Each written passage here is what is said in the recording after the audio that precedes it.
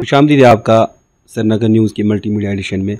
महकमे बिजली ने हाल ही में एक शेड्यूल मरतब किया है, जिसकी वजह से लोग नाला है, लोगों की ग्रीवेंसेस काफ़ी ज़्यादा है कि बहुत सारे जो गैजेट्स हैं उन पर चलते हैं, खासकर ऑक्सीजन कंसनट्रेट की बात करें, हॉस्पिटल सप्लाइज की या मेडिकल इमरजेंसी की बात करें, और पेशेंट्स भी घर में है। और तो इस सब पे बात करने के लिए हमारे साथ मौजूद है आज पीडीडी के चीफ इंजीनियर जावेद यूसुफ डार साहब। खैर में आपका शुक्रिया शुक्रिया इस प्रोग्राम में मधु करने के लिए। सबसे पहले आपसे जानना चाहेंगे कि जो नया बिजली जो शेड्यूल आपने मुरतब किया है पे आप क्या कहना चाहेंगे? पहले समझने की ज़रूरत ये है कि आखिर जो बिजली की कटौती खासकर सर्दियों में होती क्यों हो रही है?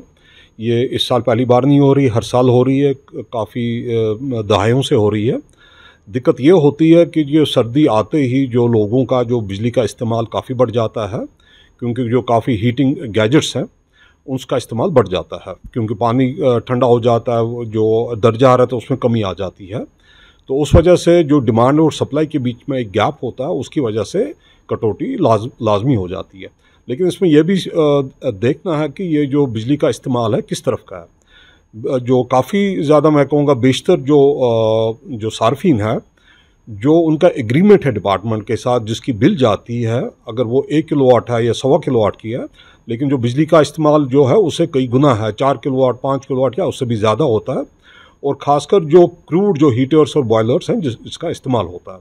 इससे दो परेशानियाँ होती हैं, जिससे लोगों को काफ़ी दिक्कत आ जाती एक तो जो ये ओवरलोडिंग इन हीटर्स बॉयलर्स की वजह से होती है इससे एक तो जो हमारे ट्रांसफार्मर है उसमें जो डैमेज है सर्दियों में काफ़ी बढ़ जाता है ट्रांसफार्मर जल जाते हैं। और दूसरा कि जो हमारा फीडर्स हैं वो ओवरलोड हो जाते हैं जिसकी वजह से हमें बिजली की कटौती कटौती करनी पड़ती है। लोग अक्सर शिकायत करते हैं कि हम बिजली फ़ीस जो है वक्त पे अदा करते हैं। तो आखिर क्या वजह है कि हमें बिजली जो है मुहैया नहीं की जाती है? जैसे मैंने कहा कि जो बिजली का बिल जाता है वो उनके रजिस्टर्ड लोड के हिसाब से जाता है।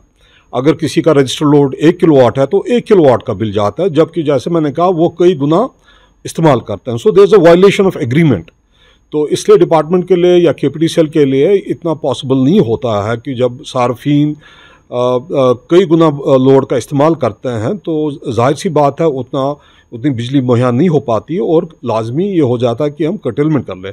लेकिन इस ज़मन में अभी ये कहूँगा कि अगर पिछले तीन चार साल से देख लें तो बिजली में बेहतरी आई है।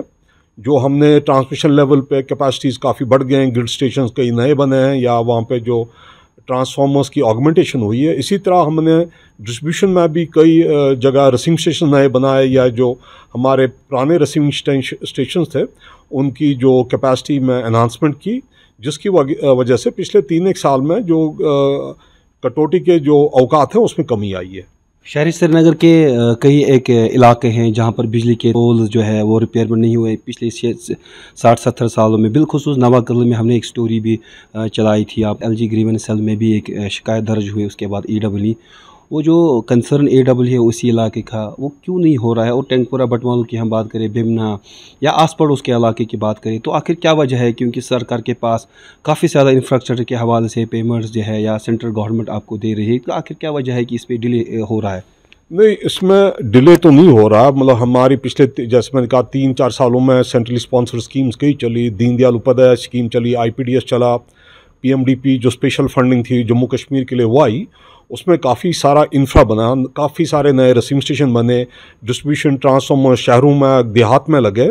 तो वर्क इन प्रोग्रेस है। धीरे धीरे ये काम भी होगा जो जो आपने कहा कि काफ़ी जो इंफ्रा है, कहीं पुराने वुडन पोल्स हैं या तारें ख़राब हुई हैं, ये धीरे धीरे ये हो जाएगा। और अगले हमारे पास गवर्नमेंट ऑफ़ इंडिया की R D S S scheme है।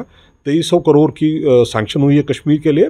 इसमें काफ़ी काम होगा अगले दो तीन सालों में। आप देखेंगे एक माया बदलाव और एक पॉजिटिव चेंज आप अगले दो साल में देखेंगे। पिछले कई सालों में हमने देखा है कि महकमे में काम कर रहे डेली वेजर या नीड बेस या नॉन सिक्योरिटी पर्सन आखिर वो मरम्मत करते हुए जो है मर जाते हैं। आखिर उसकी वजूहत क्या है? और उस पर सेफ्टी ऑडिट लगता है। उसके बाद आप उन क्या करते हैं ताकि ये जो जानों का जिया है, ये कैसे बच सके? ये एक काफ़ी जो काफ़ी इंपॉर्टेंट एक इशू है हमारे लिए कि जो हमारे डेली वेजेस खासकर हैं, उन कभी एक्सटेंट्स हो जाते हैं।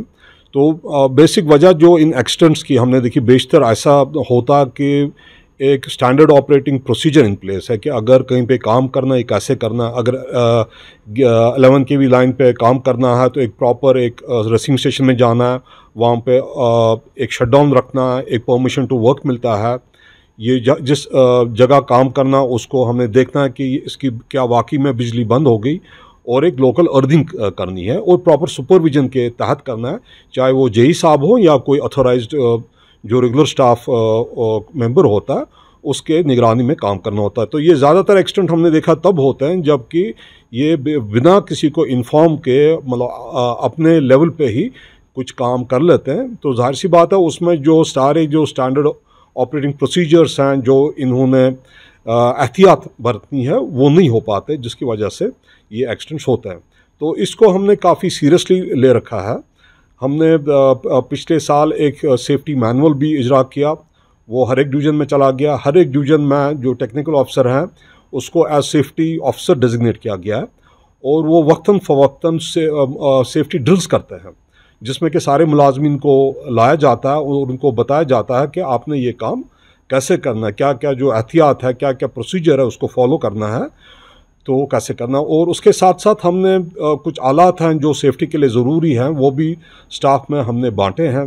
जैसे सेफ्टी एलिमेंट्स है, या जो अर्दिंग रॉड्स है, जिसको डिस्चार्ज रॉड कहते हैं, वो भी हमने बांटे। या जो हाई वोल्टेज डिटेक्टर्स हैं, जिससे वो रॉड होती है, जिसको अगर हम तार के नज़दीक लेंगे तो उसमें एक लाइट जलती है और एक बीप आता, आवाज़ आती है, जिससे हमें यह पता चल सकता है कि क्या ये लाइन ये ऑफ़ है या अभी ये लाइव है। तो ये सारे आलात इसमें आगे भी इसमें और इजाफा होगा और मेरी गुजारिश अपने स्टाफ से होगी, खासकर पी हमारे टी हैं, कि पूरा पूरा एहतियात बरता करें और जो स्टैंडर्ड ऑपरेटिंग प्रोसीजर्स हैं, उनको अपना लें और प्रॉपर सुपरविजन चाहे जो जेई साहब हो या जो हमारे रेगुलर मुलाजिम हैं जिनको डेजिग्नेट किया किया गया है उस फीडर के लिए, उनके सुपरदगी में, उनके सुपरविजन में काम किया करें। जहाँ तक आपके सिकुलर मुलाजमी का ताल्लुक है या परमिट मुलाजिम का ताल्लुक है, उनको नहीं देखा जा रहा है कि ग्राउंड में जब तारों की मरम्मत के हवाले से बात करें तो उनके खिलाफ क्या एक्शन करेंगे आप? नहीं इसमें हमने सर्कुलर ऑलरेडी इशू कर रखे हैं कि जिसमें दो, दोनों अगर हमने देखा कि वायलेशन हो रही है जो सेफ़, सेफ्टी प्रोटोकॉल्स वो फॉलो नहीं हो रहे हैं वो चाहे रेगुलर मुलाजम हो या आ, जो कैजुअल हो पीडीएल हो उनके खिलाफ हमने कहा है कि कार्रवाई होगी और ये हम सीरियसली ले रहे हैं। ये काफ़ी बिकॉज़ ये इंसान की जान का इशू है तो इसको हम काफ़ी सीरियसली ले रहे हैं। कोई भी जो है डेली वेजर है पे या जो उनकी बहबूदी के लिए क्या कुछ डिपार्टमेंट कर रहा है? सो कंपनसेशन की बात करें, चाहे नौकरी की बात करें तो इस तरह पालपुर का हुआ, वही तो उनका कमाने वाला था, जो जो उनकी बेवा कह रही थी, उनके बच्चे कह रहे थे। तो उस सवाल से डिपार्टमेंट क्या कुछ कर रहा है? जी आपका इशारा इन तरफ़ है कि जिन पी की मतलब खुदा न खास्ता मौत वाक़ होती है तो ये ऑलरेडी हमने पिछले दो साल से इनको, एक तो इंश्योरेंस कवर दे रखा है और एक्सक्रीशा मिलता है। शायद मुझे करीब करीब बारह लाख का इनका कवरेज है तो कम से कम ये एक थोड़ी सी रकम है, जिसके बुनियाद पे उनकी कुछ थोड़ा छोटा छोटा मोटा कुछ गुजारा हो सके। दूसरा, हमने सरकार के साथ टेकअप कर रखा है कि जो अगर, क्योंकि जैसे रेगुलर मुलाजिम है, अगर उसकी वो मौत वाक़ होती तो उसमें एक बाबा एस आर ओ है, जिसके तहत उसके डिपेंडेंट्स में से किसी को सरकारी नौकरी मिलती है। तो उसी तरह हमने सरकार के साथ ये मसला ये उठाया हुआ है कि पी में भी ऐसा ही हो कि अगर किसी की खुदा न खास्ता मौत वाक़ हो कम से कम जो उसका डिपेंडेंट है, ताकि उनका घर चल पाए तो उसको कम से कम डेली उसकी जगह एज डेली वेजर एंगेज किया जाए। ऐसा कोई मैकेनिज़्म है जब कोई भी ग्रीवेंस जो आती है आपकी नोट्स में या अखबार में शाया होती है, चाहे ऑनलाइन हो, चाहे टेलीविज़न में? इसका कोई आ, होता है आपके डिपार्टमेंट को उसको देखता है फिर उनकी जो ग्रीवेंस को वो हल होती है? बिल्कुल आपने सही कहा। एक हर एक हमारे ऑफ़िस में ग्रीवेंस सेल है। एक मुलाजिम है जिसको खास इसी का काम के लिए रखा गया है कि जो, जो ग्रीवेंस कहीं से भी आ जाए या एलजी साहब की ग्रीवेंस सेल है वहाँ से कोई आ जाए या हमारा ऑनलाइन कुछ ट्विटर पे या किसी और पे व्हाट्सएप पे या फेसबुक पे कोई ग्रीवेंस आती या अखबारत के ज़रिए ग्रीवेंसेज आते उन सब का नोटिस लिया जाता है और जो कंसर्न दफ्तर होता है डिवीज़न होता है या सब डिवीज़न होता है वहाँ पे इसको पहुँचाया जाता है ताकि इसका कुछ अजाला हो सके। हर एक ग्रीवेंस का पॉसिबल नहीं मतलब कभी कभी डिमांड्स आती जी हमें नया ट्रांसफार्मर चाहिए या बड़ी कैपेसिटी का ट्रांसफार्मर है बट उसको हमने देखना है कि क्या ये पॉसिबल है, क्या इसकी फिजिबिलिटी है तो उस बुनियाद पे उसका ज़ाला होता है। डॉक्टर साहब हमें बताइए चूँकि इंफ्रास्ट्रक्चर जब हम बात करें तो उसमें जो कैपेसिटी थी ट्रांसमिशन लाइनों की वो उतनी नहीं थी। अब कितना बढ़ गया है सो दैट कि जो क्योंकि विंटर्स में उनका लोड ज़्यादा पड़ता है तो कितना बढ़ गया है कि जो आप बाहर से भी बिजली जो है मंगवाएँगे सो दैट कि वो वो आपके केटर करें और लोगों में वो डिस्ट्रीब्यूट कर पाए। जी देखिए अगर हम तीन चार साल पहले ही चले जाएँ सर्दियों में पीक जो लोड करीब करीब 1200 मेगावाट का हम फराम करते थे पिछले साल जो पीक करीब जनवरी में जनवरी फरवरी में गया था, साढ़े सत्रह सौ मेगावाट हो गया था। यानी कि करीब साढ़े पाँच सौ मेगावाट की बेहतरी हुई तीन ही साल में। इस साल भी करीब करीब जो अभी तक हमारा पावर शेड्यूल है, पिछले साल से थोड़ा बेहतर है। मतलब जो फराहम हम सार्फिन में कर रहे हैं, वो बेहतर है। लेकिन आखिरकार हमने ये देखना है कि जितनी बिजली हम फराम कर रहे हैं, क्या उसके वसूलियाबी हो रही है, जो फ़ीस उसका है आज की डेट में करीब करीब अगर सिर्फ़ कश्मीर की बात करें या अपनी जम्मू कश्मीर की बात करें, करीब करीब साढ़े तीन हज़ार करोड़ का एक गैप है एक खसारा है कि जो, जिसकी हम बिजली फराहम करते हैं, लेकिन जिसकी वसूलियाबी नहीं होती है। तो वो सारा जो गैप है, वो सरकार को मीट करना पड़ता है। तो सरकार के पास भी मतलब लिमिटलेस तो वसाइल है नहीं। उनका भी एक बजट होता है कि पावर परचेज़ के लिए एक बजट रखा होता है। तो उसी पावर परचेज़ बजट के अंदर अंदर हमें बिजली की मतलब अरेंजमेंट करना होता है बाहर से चाहे एन टी पी सी हो एन एच पी सी हो या बाकी कोई जनरेटिंग कंपनीज़ हैं उनसे ख़रीद सकते हैं। तो जैसे जैसे जो हमारी ये गैप कम होगी जो हम बिजली फराहम करते हैं उसकी जो वसूलिया भी है उसमें बेहतरी आएगी। आप देखेंगे कि बिजली के पोषण में भी साथ साथ बेहतरी आएगी। और जैसे हम आगे आर डी एस एस मैंने कहा कि ये यहाँ पे लॉन्च हुई है तो अगले सा, दो साल में आप देखेंगे ट्रांसफार्मर और लगेंगे। एल टी बंच केबल्स और लगेंगी स्मार्ट मीटर और लगेंगे।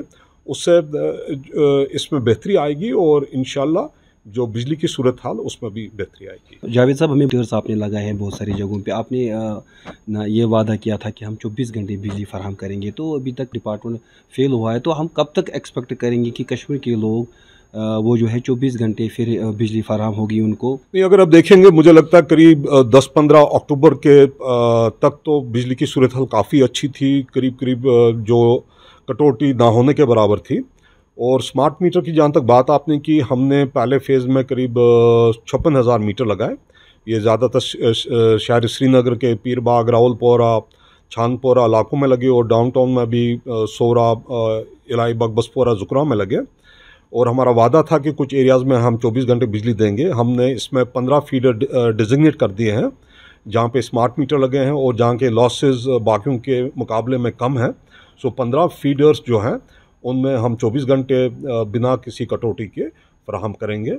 और जैसे मैंने कहा सेकेंड फ़ेज़ में और थर्ड फ़ेज़ में और तीन लाख मीटर लगने हैं। ये उम्मीद है कि अगले साल अगस्त सितंबर तक वो भी लग जाएँगे। तो अगली सर्दियों में सिचुएशन और बेहतर होगी और फीडर्स हैं जिनको हम मतलब कटौती के बगैर बिना खलल के बिजली फराहम करेंगे। आखिर पे क्या मैसेज और अपील रहेगी अपनी मुलाजमी और ख़ासकर कंज्यूमर्स के लिए? कंज्यूमर्स के लिए मेरी यही रहेगी गुजारिश रहेगी कि जो आपका हमारे साथ लोड रजिस्टर है जिसका आप बिल पे करते हैं अपना जो बिजली का लोड उसी के तहत इस्तेमाल करें। दूसरा कि जो क्रूड हीटर्स हैं और जो क्रूड बॉयलर्स हैं उसका इस्तेमाल ना करें। क्योंकि यही वजह बनती है कि जो ट्रांसफॉर्मर्स हैं वो जल जाते हैं फीडर्स ओवरलोड हो जाते हैं तारे कभी ज, कभी जल के नीचे गिर जाती हैं और हमें बिजली की कटौती करनी पड़ती है। और अपने मुलाजमीन से मेरी यही गुजारिश रहेगी कि काम करते वक्त जो पूरा जो आप एहतियात बरती हैं जो स्टैंडर्ड ऑपरेटिंग प्रोसीजर हैं जो आपने सेफ्टी प्रोसीजर्स जो आपको बताए गए हैं उनके तहत ही काम कर दी बहरहाल आपने सरनगर न्यूज़ से बात की तो आपका बेहद शुक्रिया। शुक्रिया। ये थे पीडीडी के चीफ इंजीनियर जावेद यूसुफ डार साहब। श्रीनगर न्यूज़ के लिए आदिल बशीर।